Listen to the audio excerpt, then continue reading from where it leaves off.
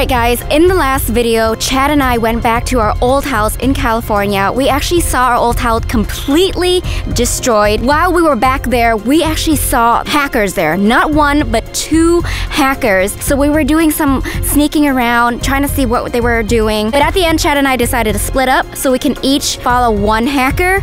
And I've been following this one hacker for so long now. And I actually lost him for a little bit, but I actually found him again. So now we're back to tracking him. Alright, guys. There's the hacker. I've been like hiding behind these bushes. Oh! I don't think he saw me.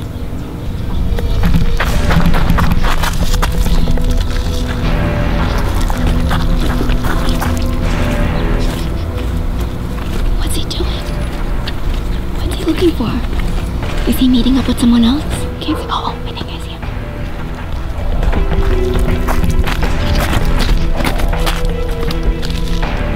Oh, I think I need to move closer. I can't see him very well.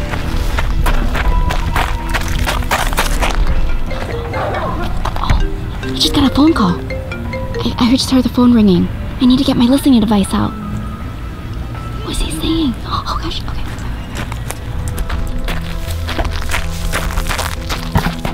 Guys, like I'm, I'm gonna go hide here.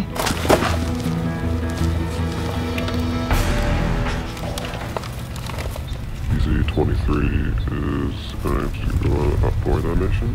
Yeah, I mean, did you try getting the, getting the did you try getting the toothbrush? You should go, go to the laboratory, okay?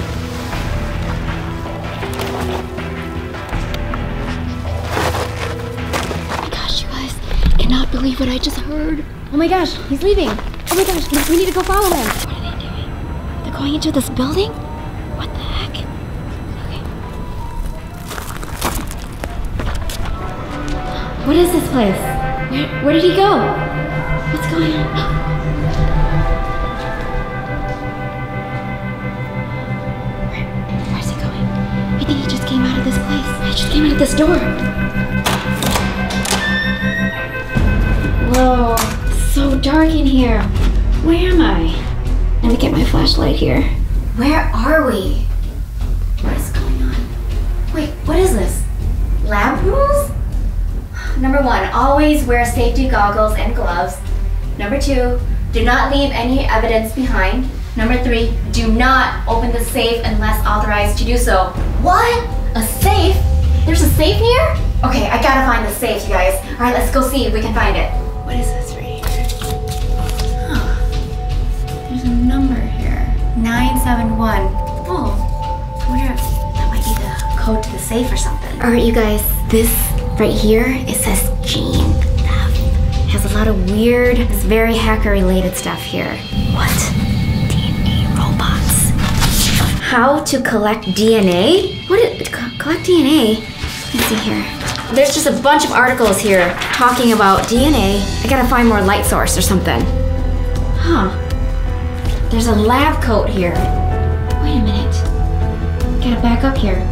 Whoa, look at all these chemicals, all these beakers, chemistry set. Whoa, what is this place? Periodic table, bandages? All right, guys, I think I'm in a lab right now. It might potentially belong to the hacker that I was following. That's really creepy. Knowing maybe potentially this place is collecting DNA, I feel like I need to put on some gloves and maybe tie my hair up or something because I don't want to leave any of my DNA behind because then they'll definitely know that I came in here. Okay, guys, I got my gloves on, my hair up. Oh, what is this keypad here? Can you guys see this? I wonder what zone we're in.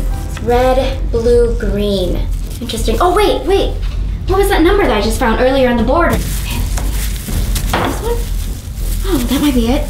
I'm gonna try this number right here. 971. 971. Anything? Nothing. Nothing's happening. Maybe that's not the right code. I'm gonna keep looking around to see what else is on this lab here. I'm not quite sure what these chemicals are. I don't, I'm not sure if I want to touch anything. Okay, what about these test tubes? Wait a minute. That a toothbrush in there? It is a toothbrush. It's a toothbrush head. Look at this, you guys. Remember how when we went back to my old apartment and they were trying to steal my toothbrush? Look, they're collecting toothbrush from other people. I'm not sure who this belongs to. It's definitely not mine because I don't use this type of toothbrush. Let's get into the light here. Whoa, you guys. Look at this. Wow, can you guys see that? It says? Yeah, that looks like SS. Yeah, I'm not quite sure what SS stands for. All right, let's see what else is in here. This is like a Q-tip. It has RZ on it on the bottom. Maybe these are initials of DNA of people that I've collected. Let me know in the comments below what you think the letters in the bottom of each of these test tubes stand for. So I know that to collect DNA, people have used this before and they swab inside of their cheek. So I wonder if this is a cheek swab from somebody with the name RZ. All right, let's see what's in this one. You guys, this has hair in it. Okay, they're definitely collecting DNAs from people. You know, this one looks like it says LS, or it actually can be like 5-7 maybe? So maybe they're numbers. You guys let me know, but based on the other test tubes, those are definitely letters though. But let's see, you can, can you guys see hair in here? All right, you guys, I don't know if you guys can see, but I'm holding this hair right here, and it actually looks like it's black, and then it slowly turns into blonde. It is very, very long though. Well, my hair is, is longer than this. It's not as long as mine, but this is definitely belongs to your girl who has black or blonde hair. Let me know if you guys know who this may belong to. Okay, this is the last test tube here. Let's see what's in it. I can't seem to see anything. It looks empty. Yeah, there's nothing in here. But let's see what the bottom says. Okay, it looks like it's a like a circle and then a triangle. Let me, let me turn it around. Whoa. You guys, are you seeing what I'm seeing? Can you guys see this right here? Does that, does that look like a V and then a Q? Okay, because my initials are V and Q and it's empty. Oh my gosh. What if this test tube here was meant for me. They were trying to collect my DNA, and I wonder if the toothbrush was meant to be in here. I really don't want them to collect my DNA. I don't want them after me. You know what I'm gonna do? I, I think I'm gonna pretend to spit in here so they think that it's my saliva. I feel like they're gonna come after me until they fill this up with something. I'm gonna look around the lab here to see if I can find anything to make it look like it's my saliva. Okay, let's see. All these beakers here, well, none of this look like my saliva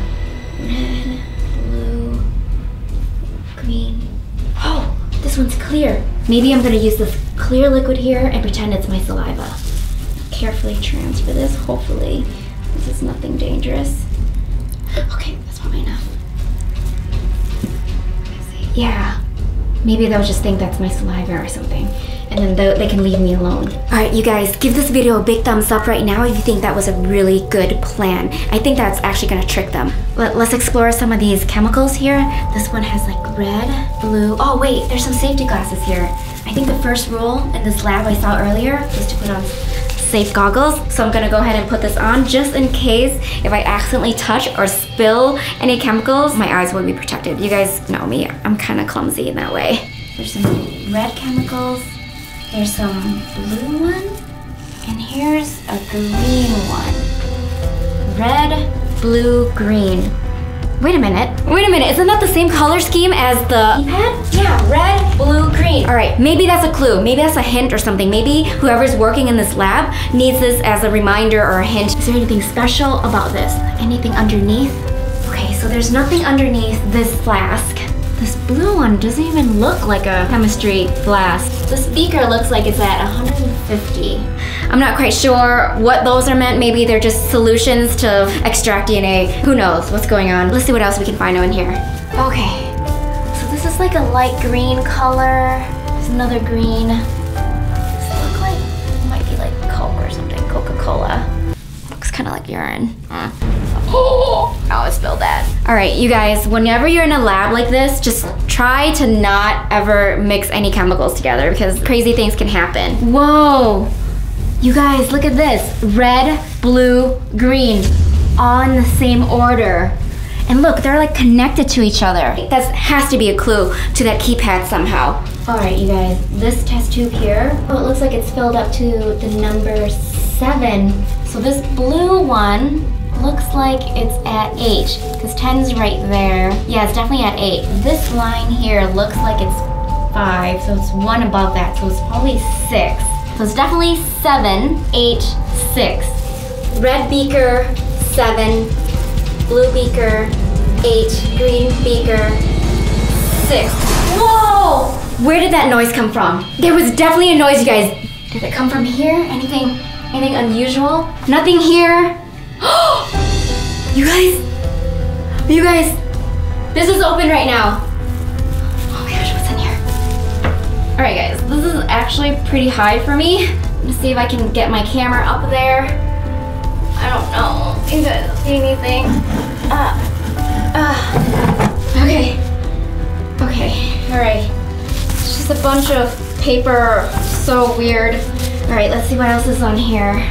In this cupboard.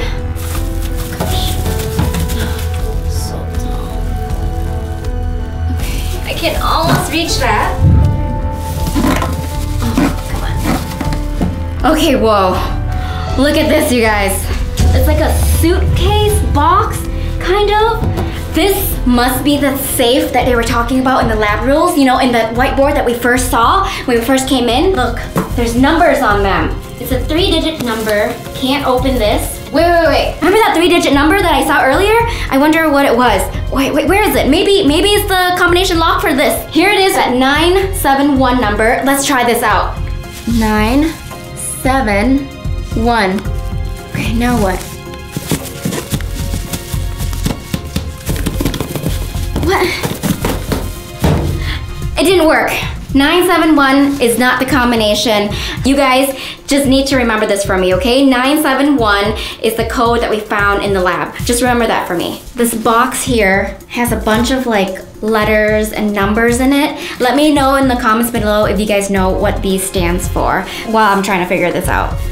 Okay, let's see. SC11 these mean anything? TI22, AU79. You know guys, I actually know what this means. When I took chemistry class in school, I know that AU stands for gold and the 79 is a number on the periodic table. This is the element number for gold. I actually saw a periodic table in this lab, so let's see if this reveals some sort of clue. Here, here's the periodic table. AU79 is right here. U S C T I. I have marked all the elements in that box on here. I don't know what to think of this because they all seem to be in like one area right here in the middle of the periodic table. Do you guys have any idea what I can do with this information? Please comment down below right now to help me out. Okay, right, see, let me see, maybe it spells something.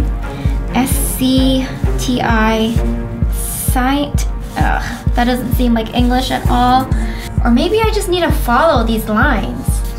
Let me see if this one, this grouping here, kind of looks like a zero or a rectangle, or maybe it's an O. Interesting, maybe, maybe I just color that in.